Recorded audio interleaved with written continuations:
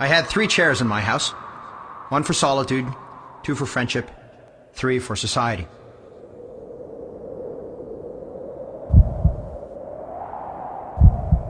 One for solitude,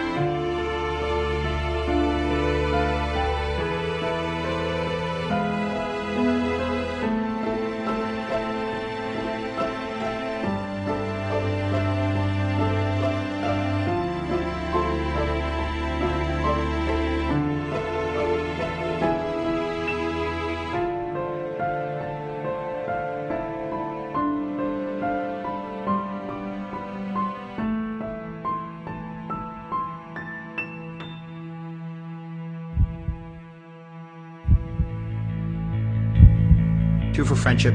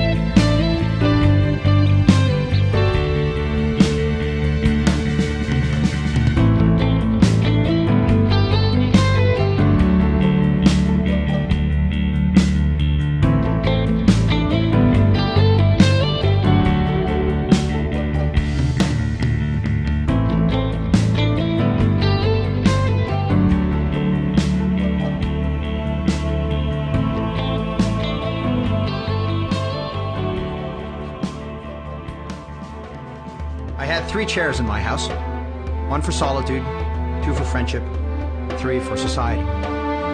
When visitors came in larger and unexpected numbers, there was but the third chair for them all, but they generally economized the room by standing up. But there are many fine things which we cannot say if we have to shout, both public and private, and yet we often parted without being aware that we had come very near to one another. In my house, we were so near that we could not begin to hear. We could not speak low enough to be heard, as when you throw two stones into calm water, so near that they break each other's undulations. If we are merely loquacious and loud talkers, then we can afford to stand very near together, cheek by jowl, and feel each other's breath.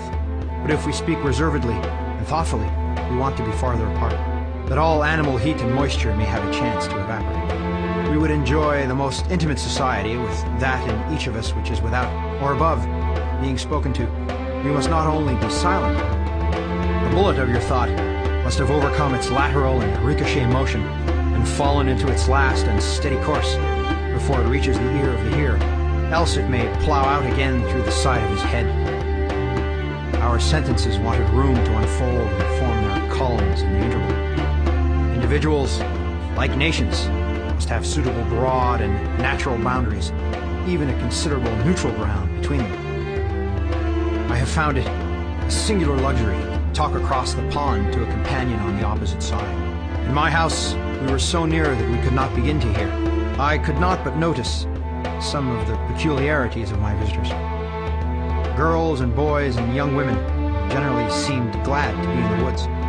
They looked in the pond and at the flowers and improved their time. Men of business, even farmers, thought only of solitude and employment, and of the great distance at which I dwelt from something or other.